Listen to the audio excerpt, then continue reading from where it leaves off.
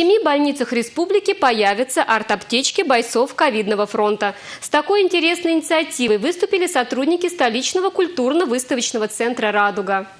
Искусство лечит душу, а через душу всего человека. Об этом знают те, чья профессия связана с исцелением людей. Снизить уровень эмоционального напряжения и предупредить синдром профессионального выгорания тех, кто работает в красной зоне – цели проекта. В его рамках в семи лечебных учреждениях Чуваши появятся те самые аптечки. В их составе 24 произведения живописи в технике жикле, выставочная ширма, кресла-мешки, светильники, портативная колонка, мольберты, материалы для творчества, методические рекомендации. Данный проект уже объединил два направления арт-терапии, импрессивную и экспрессивную арт-терапию.